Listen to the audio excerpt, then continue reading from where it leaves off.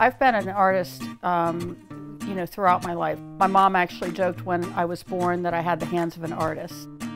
The first art museum I remember going to as a child was the Art Institute of Chicago um, when I was about seven years old.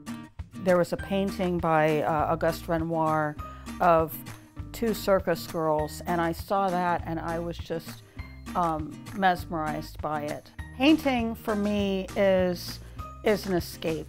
I can really, when I get involved in a piece that I'm working on, everything else disappears. You really can't worry or think about anything else. You become one with the project that you're working on and everything else goes away. The employee resource groups, um, it, that vehicle is just so important, I feel, because you're able to bring other aspects of yourself and your creativity or your passions, your interests, or who you are uh, to the job. I just think that it's such a wonderful attribute of our company culture.